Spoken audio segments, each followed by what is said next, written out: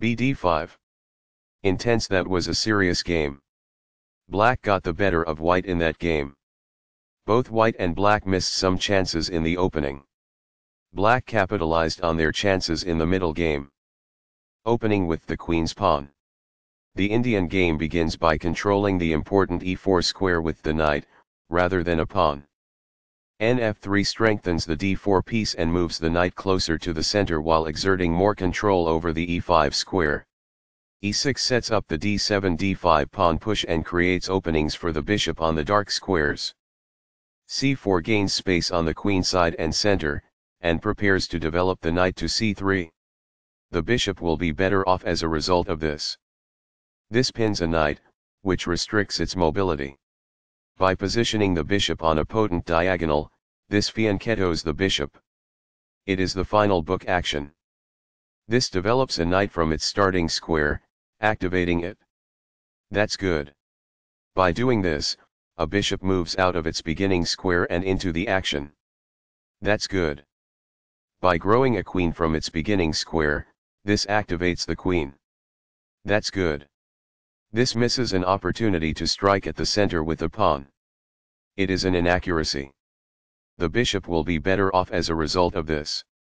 That's good. By doing this, a knight moves out of its beginning square and into the action. It is quite good. By growing a bishop from its initial square, this activates it. It is quite good. Castling gets the king to a safer square, out of the center of the board, while also developing a rook. Castling kingside tends to be safer because the king is further from the center.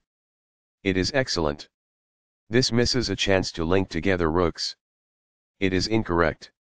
This uses a pawn to attack the center while vying for position. It is ideal. By moving a rook from its starting square, this activates it. That's good. This misses an opportunity to develop a rook off its starting square. It is a mistake. There was just one smart move to be made. It falls flat. This strikes the opponent's bishop. That's good. This leads to losing a bishop. It is a mistake. This ignores an opportunity to win a bishop. This allows the opponent to kick a knight. It is a miss. This is the wrong piece to capture with and leads to a loss of material compared with the correct choice. It is a miss. This wins material. This is the only move that works. This took advantage of a mistake and black now has a winning advantage. It is a great move. It is a fair deal after all captures. It is quite good. Recaptures. It is ideal. This defends the attacked pawn. It is good. Among the best actions. It is quite good. This shifts the bishop to a square with more activity, giving it greater scope. It is quite good. This exposes pawn attack. It is quite good. Backs off. That's good. The best choice is this one. It is ideal. Backs off. It is quite good. A bishop is pinned as a result, which limits its mobility. It is ideal.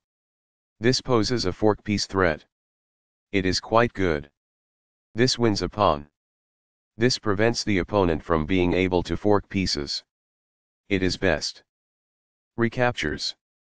It is ideal. That pawn was free for the taking. It is best. A rook enters the action after developing outside of its starting square as a result. It is quite good. It was a free pawn there. It is ideal. This steps away from the checking queen. It is best. This comes in several sections. It is ideal. This evades the check from the queen. It is best. Intense that was a serious game. Black got the better of white in that game. Both white and black missed some chances in the opening. Black capitalized on their chances in the middle game. This is the way to win a rook. It is excellent. Intense that was a serious game. Black got the better of white in that game. Both white and black missed some chances in the opening. Black capitalized on their chances in the middle game.